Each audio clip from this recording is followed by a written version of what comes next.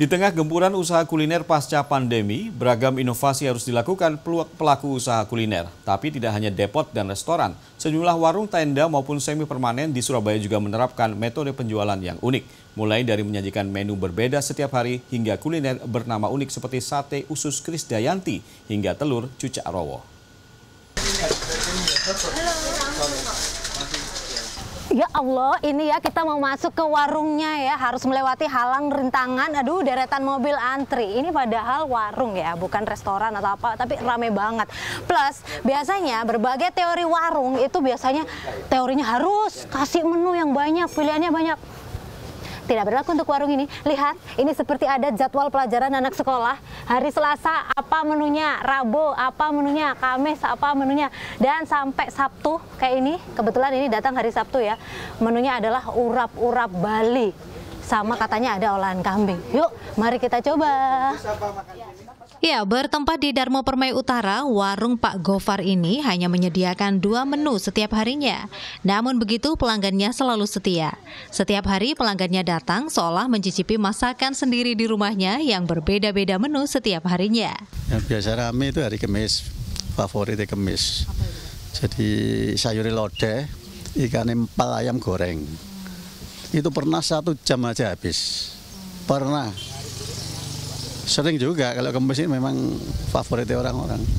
Jadi satu jam habis gitu. Meski habis dalam waktu kurang dari dua jam, setiap harinya Pak Gofar bisa menghabiskan ayam 35 kg ataupun daging hingga 30 kg. Nah, di sini itu gimana langganan apa gimana? Kenapa langganan di sini enak?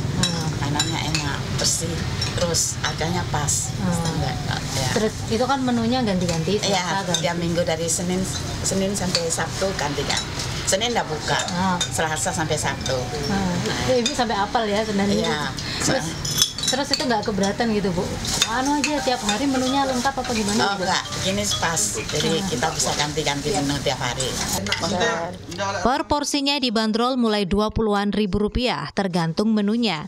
Dan untuk menikmatinya juga harus mencari tempat sendiri. Ini. Warung Pak Gofar pun buka setiap Selasa hingga Sabtu mulai jam 10 pagi. Sementara setiap hari Minggu dan Senin libur, termasuk juga setiap tanggal merah juga libur. Ya, bertempat di Jalan Bintoro Surabaya, warung Cak Mis ini begitu melegenda. Meski berupa warung angkringan tenda, Cak Mis sendiri sudah berjualan hampir 40 tahun. Kebanyakan pelanggan mengakui ada keunikan ketika menikmati sajian di sini. Ini karena setiap jajanannya memiliki nama-nama unik. Cak Mis. Iya. Ini apa aja namanya? Oh ya, kalau ini namanya cicak rowo. Uh. Ini namanya cecek elek. Ini yang namanya pecah di marmer. Uh. Kalau ini Krisdayanti, ini udang di balik batu.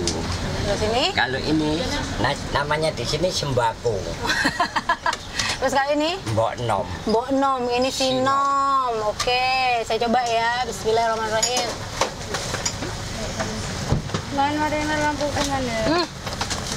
Saya minumnya sampai langsung banyak karena turnya apa? Baru ini yang namanya Mbok Nom alias istri muda yang menyegarkan. Kita coba nih.